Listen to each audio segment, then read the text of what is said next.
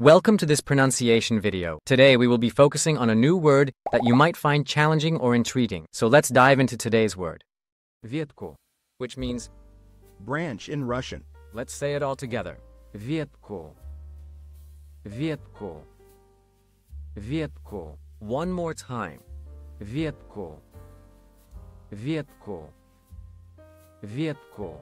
Thank you for joining us on this adventure in pronunciation. Remember, language is a journey, not a destination. Keep exploring, experimenting, and expanding your linguistic horizons. We'll see you next time.